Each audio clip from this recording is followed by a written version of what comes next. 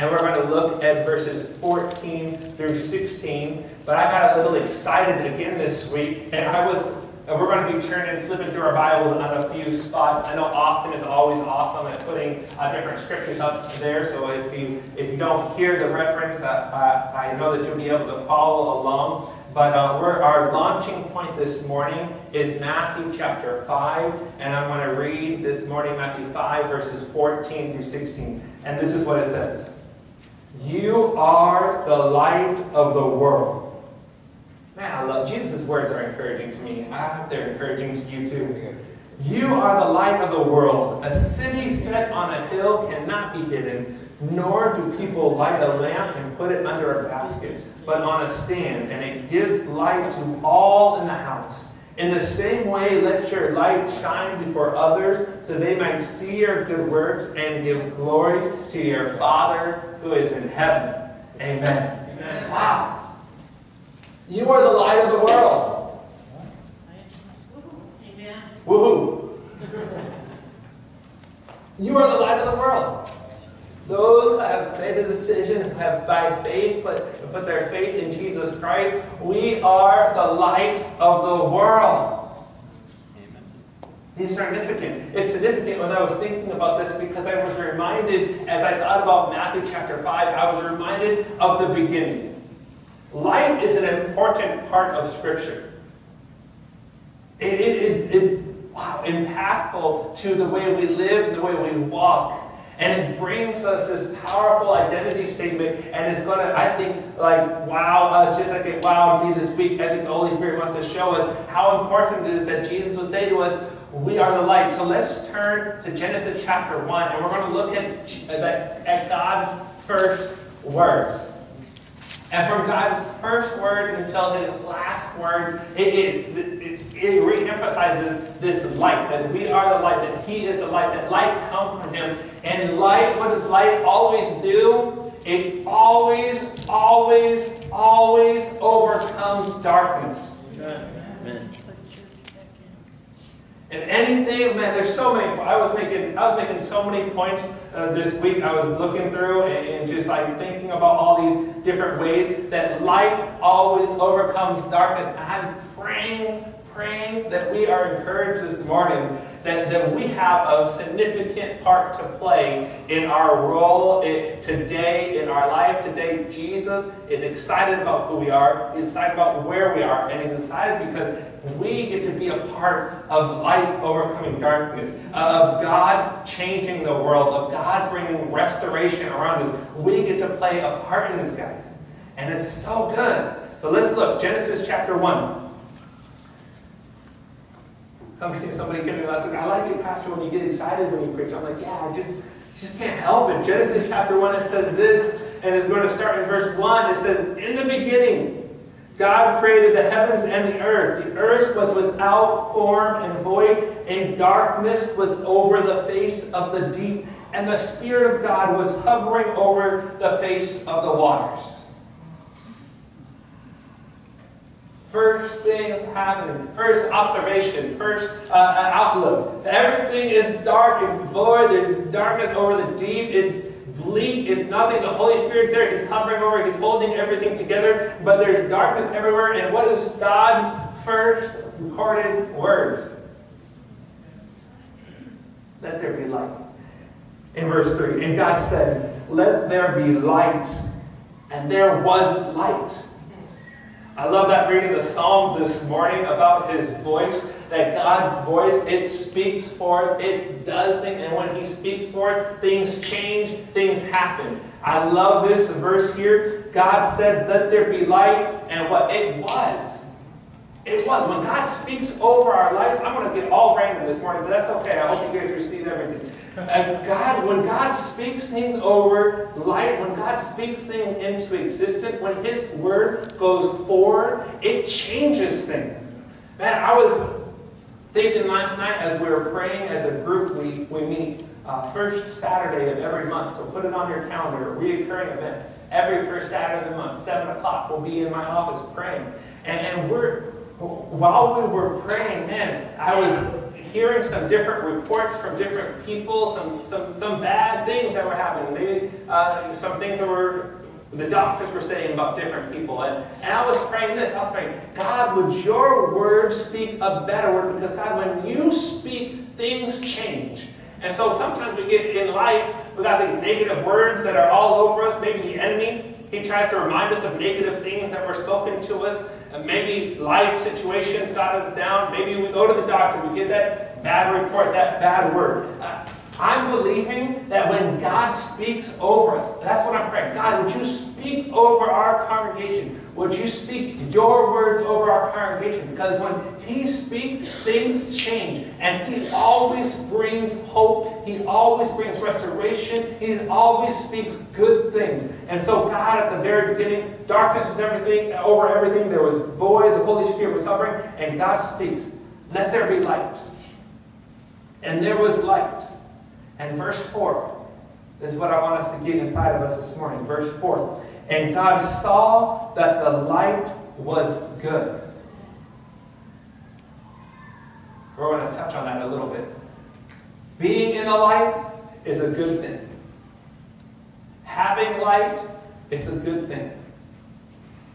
Every time we see in Scripture, there's a difference between darkness and there's a difference between light. And the light is always a good thing, it's always positive, and darkness is always cast, and the shadow is always cast, and a negative light is always cast opposed to God. The battle over light and darkness began, and it continues to be a struggle between the spirit and the flesh throughout all eternity and through all of Scripture. When light comes, light brings illumination. A couple weeks ago, in the last month, I changed all the light bulbs in here, and a few people noticed. They said, they go, Pastor, it's like it's like being at work. It's so bright in here. I said, it's good. When I when I look at it, you guys know, I see there's tons of color. It looks good in here. There's no yellow hue. There's no shadows. It looks good. Light brings illumination, it brings color. There's exuberance of color. And so God spoke, He said, Let there be light, and it was a good thing. Light is good, guys. It's a good thing. It shines. It, it brings brightness. I don't know about you. In, in my house, it's really hard. On Wednesday night, we have a, a meeting, and I got some nice LED bulbs in my in my living room too. And, and sometimes people come over and they ask me to turn it off because it, it's too bright. I said, I don't like dark, shadowy, cave looking things. God said, Let there be light. And he saw that the light was good. The light is good, I believe, for two reasons. The light in you is good. I want to remind you of that. The light in you is good. And don't let the world tell you different. Sometimes we get convinced that the things that I believe is not good. The faith that I have in Jesus is not good. I, I shouldn't share it. And God created light and He said, that's a good thing.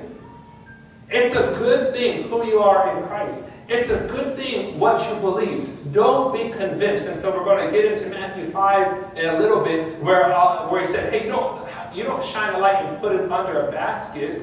No, the light in you is a good thing. The, the, the hope that you have in Christ, the message of Jesus, it's a good thing. The things that we stand for, the things that we believe, the things that we have faith in, it's a good thing. God created light and He said, Oh, that's good. Second thing, stepping, not only is a light in us a good thing, but stepping into the light is a good thing. Sometimes it's uncomfortable. You ever get a new mirror with nice light, bright light in the in the in your mirror, and all of a sudden you see different things about your face you didn't know were there beforehand? it's a little bit uncomfortable. Some of you guys have some really good friends, and they'll point out to you, "Hey, you got a little, you got a little something there, right?" But it's a little bit uncomfortable. Well, I'll tell you, stepping into the light is a good thing. Being exposed by the Word of God is a good thing.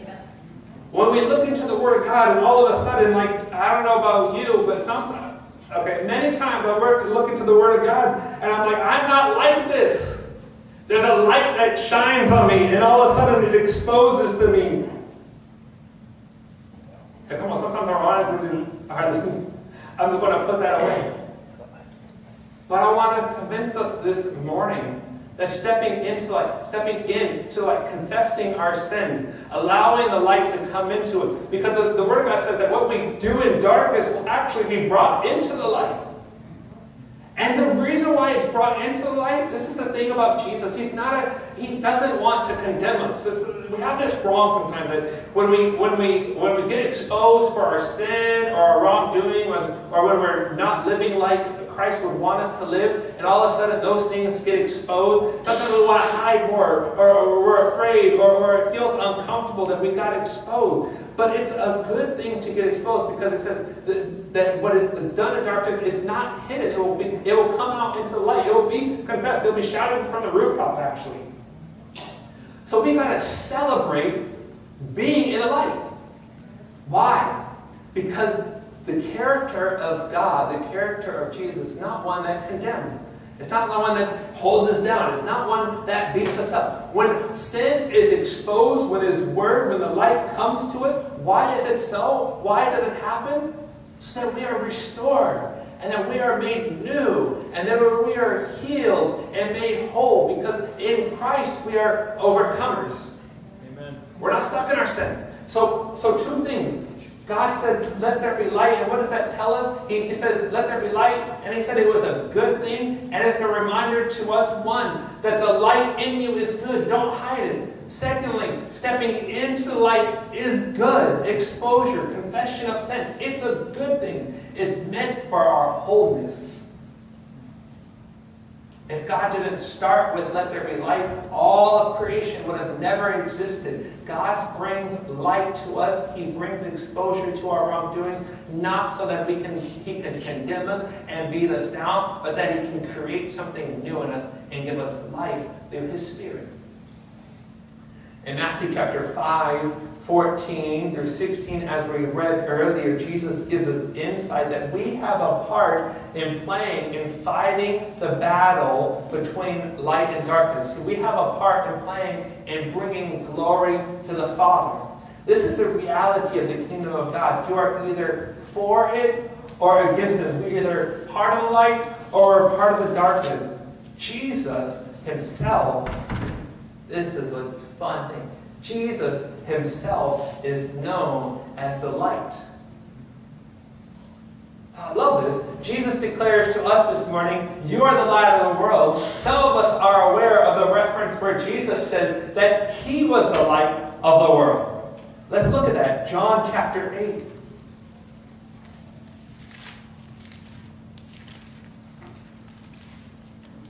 In John chapter 8, starting in verse, uh, sorry, chapter 8 in verse 12, Jesus says this, and I'm not in John, I'm in Luke.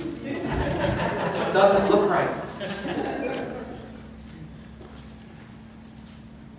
In John chapter 8, verse 12, Jesus spoke to them saying, I am the light of the world. Can you guys imagine it? The same identity statement that he makes about you and about me. You are the light of the world. Jesus says about himself, I am the light of the world. Whoever follows me will not walk in darkness, but will have the light of life. I am the light of the world. Whoever follows me will not be in darkness, but will have the light of the world. Jesus showed us the way. We just finished our series called Live Like a King, and as we walked through that series, we were seeing how Jesus was the king who didn't have everything or had everything, but it didn't hold it to his own advantage. He served us. He showed us the Beatitudes. He radically taught us how to live differently. In all of Jesus' life, he showed us the way. He was the light, the life. He showed us that the light, what does the light do? The light always brings glory to the Father. Jesus shows up on the scene. He says, I am the light. I am the way. I want to teach you how to live in such a way that you bring glory to the Father. In John chapter 1, it's a glorious introduction of Jesus. And it's a little lengthier of a passage, but I want to read it this morning as we talk about Jesus being the light. In John chapter 1, verses 1 through 13, this is what it says. It says, In the beginning was the Word, and the Word was with God, and the Word was God. He was in the beginning with God, and all things were made through him. And without him was not anything made that was made. In him was life. And the life was the light of men. The light shines in the darkness, and the darkness has not overcome it. We can hold on to that. Darkness never overcomes light. Verse 6 There was a man sent from God whose name was John. He was a witness to bear witness to the light, that all might believe through him. He was not the light, but came to bear witness about the light. The true light, which gives light to everyone, was coming into the world. He was in the world, and the world was made through him, yet the world did not know him. He came to his own, and his own people did not receive him. But to all who did receive him, who believed in his name, he gave them right to become children of God, who were born not of blood, nor of the will of flesh, nor of the will of man, but of God. Jesus, I love this. Thinking about the beginning, Genesis chapter 1, God shows up on the scene. He speaks, Let there be light. It says that all things were created. John here says, All things were created, but through that light, through him who was Jesus. And Jesus shows up and he shows us the way, the light. What does it say about God's word? It says his word is a lamp unto our feet. It shows us the way. What? The way to the Father. Jesus is that light. And the way that he lived showed us the way to glorify the Father, to believe on him, and to receive the right to become his children. We are the light of the world just as Jesus was the light of the world. Now, sometimes when I think about that, and sometimes when I think about that, it gives me weight. And I think, wow, Jesus, you were the light. You showed the way. And I have that same responsibility. And so again, this morning, if there's light that comes with it, if, if there's conviction that comes, the Holy Spirit starts dealing with you and saying, hey, you know what, there's some ways that you aren't living like the light. Remember this, being in the light is a good thing. It's calling you to be like Christ, to live like Him. It's an invitation into Christ. Follow that invitation. Receive that this morning. In 1 Peter chapter 2, so God says, Let there be light. He says it's a good thing to be in the light. Jesus says, I am the light. I'm going to show you the way. Live like me. And in 1 Peter chapter 2, it reminds us that we were called out of darkness and we were called into light. 1 Peter chapter 2, verse 9, it says this about us in this room, those who have put their faith in Jesus uh, 1 Peter chapter 2, verse 9. But you are a chosen race, a royal priesthood, a holy nation, a people for his own possession, that you may proclaim the excellencies of him who called you out of darkness and into his marvelous light. Once you were not a people, but now you are God's people. Once you were not received mercy, but now you have received mercy. Beloved, Church, Capital City Church, I urge you as sojourners and exiles to abstain from the passions of the flesh which wage war against your soul. Keep your conduct among the Gentiles honorable, so that then they may speak against you as evildoers. They may see your good deeds and glorify God on the day of his visitation. You are the light of the world. Matthew chapter 5. You are the light of the world. Jesus has called us out of darkness for a purpose this morning. That's what this whole series is about being salt and light. We have been given an identity, and it's for a purpose to live like Jesus, and in doing so, glorify the Father in heaven, and so that all those that are around may see what it's like follow after Jesus, and they too will glorify their Father in heaven. Let's turn to Matthew chapter 5, and we're going to look again at this passage and see what it is challenging us this morning. Matthew chapter 5, verse 14 through 16. You are the light of the world. A city on a hill cannot be hidden. So, what is Jesus saying to us this morning? The same way that Jesus' light exposes sin, we are ones by carrying the light, by living like Jesus, by sharing the message of Jesus. We expose sin. We show the way. We bring exuberant color and joy to the world around us. And so, first of all, from Matthew chapter 5 this morning, first that we need to hear is that your light, it cannot be hidden. You are a city on a hill. You cannot be hidden. Your following after Jesus will show up in your life. I would say that it should show up in your life. It will change the way you live, and other people will see it. And it's a good thing. It's a good thing to live for Christ, to live like Jesus, to show the mercy and the grace and the wonderful glories of who He is, to pray for the sick and they'll be made whole, to have faith, to, to change your schedules because, hey, you're going to orient your life around Jesus. It's a good thing and it can't be hidden. Don't worry about it. Don't worry about it being hidden. Don't worry about it being different than the people around you. It should be, Jesus is saying. It should. You are a city. You are the light. You are now a child of God. You are now in the kingdom. And so don't live the same way. It, you won't live the same way Jesus is saying. You can't. It will be known to those who are around us that you are a follower of Jesus. And it's a good thing. I want to repeat that over and over. It's a good thing. The secondly, it says one, one. So this is kind of similar, but they are different. So the first one is your light cannot be hidden. Then secondly, don't try to purposely hide your light. So your light can't be hidden. You're going to live differently because you're following after Jesus, and don't hide it. What does it say here? Jesus' words this morning in verse 15. Nor do people light a lamp and put it under a basket, or they put it on a stand that it gives light to the whole house. The message this morning, last night, we were praying. I just kept on praying this. Don't hide the light.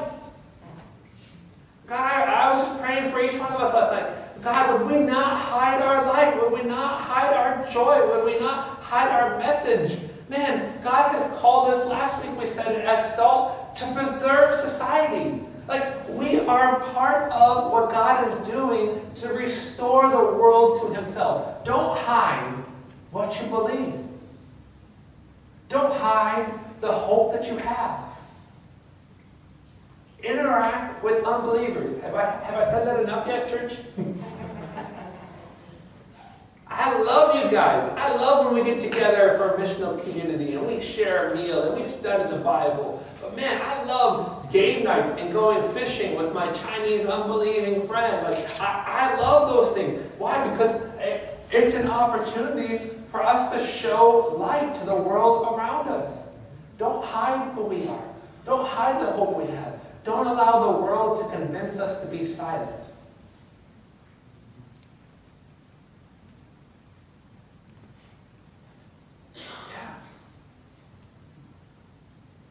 excited when I hear about people praying, hey, God, in my workplace, who can I share your light with? That's what we're called to do, to be light to all around us, to give people hope for a restoration and a future. Jesus only did what he saw the Father doing. Let your light shine so others will see God. This is the result. This is the result. So when we are light and we allow our light just to shine, when we allow ourselves to be the gracious people, to be the merciful people, to be the ones who serve, the ones that are like Christ, the ones who pray for the sick, who share the gospel message, what happens? Others see God. When we are light, the Father is glorified. That's what it says in verse 16. Let others see your good works, and they will give glory to your Father who is in heaven. What is this about? Why are we talking about being salt and light? Why is this so important that we have this identity? Why? Because others will see God and they will glorify Him. Why? Are you tired of the world around you falling apart? Are we tired of things looking corrupt? Are we tired of, of sin around us seemingly getting worse and worse? What is our what is our response to it? Be the light. Be the light. Be the difference. And they will see the Father and they will glorify Him. They will come to Him. And they too will receive this good news. What does it look like to show the light? What does it look like to be the light? Man, show concern for your neighbors. I mean, really practical. Show concern for your neighbors. There's a mama, mama down the hall. She's getting ready to move. We told her just a, uh, this this week. Hey, tell us when you're moving. You cannot lift a box on your own. Show concern. Why? Because Jesus showed concern for the least of these. The things that you do for the least of these, you did to Christ Jesus. Show the light. What is like serving? Then we have uh, an opportunity here in August, the, uh, the first Saturday of August. The community here in uh, Sherwood Forest, all, all sorry, Sherwood Forest and oh, I'm losing this. Oh, sorry. sorry, I had this in my notes. Um, anyway, the neighborhood here every August they do a ice cream social. And we as a church have never been to the ice cream social. So I told everybody, hey, we're going to camp. We're also going to the ice cream social this year. I will give the dates to you guys next weekend. Why? Because we want to serve our community. And I said, hey, what can you guys do? Uh, what can we do to serve our community in just a practical way? whether it's purchasing the ice cream for the ice cream social, we're going to pick up trash, we're going to find something to do to serve people. Because then we're going to be doing what Jesus did, serving the least, serving people around us, being the light. And when we be the light, they will see our good deeds. And Jesus says here, they will what? They will glorify the Father in heaven. It doesn't have to be complicated. Everybody doesn't have to like be able to preach a, five-point sermon. Just serve others around us. Show who Jesus is. Be merciful. Follow after him. And they will see the good works that we do. And they will glorify the Father in heaven. It will give us opportunity to share the hope that we have. In, in 2 Peter, it says, when they try to speak bad of us, they'll all of a sudden find there's nothing bad to say. Just begin to glorify the Father in heaven. So again, this morning, you are the light of the world. It's good. Be the light. Let's pray this morning. Father, I am so grateful for the opportunity again to share your word with your church. We are the light of the world. It's amazing to think that we have the same identity as you, Jesus, that we have an opportunity to show the world around us the way to heaven the way to the Father. God, I pray that each one of us in this room would, would God, walk in that identity. Lord, first of all, that we wouldn't hide ourselves, but God, that we would shine your light around. Father, give us practical ways. Father, show us our neighbors. Show us those people in need. Show us those people who are in need of hope. And, and God, may we uh, walk in the opportunity to show them the Father. God, I thank you for what you're doing in our church to stir us to action. And God, I pray that we would respond rightfully. In Jesus' name. I want to encourage you. Last night, uh, at the end of our prayer, uh, Kevin, uh, Kevin prayed. And he prayed this way. He said, God, I, I pray that we would humbly accept your plan for our lives.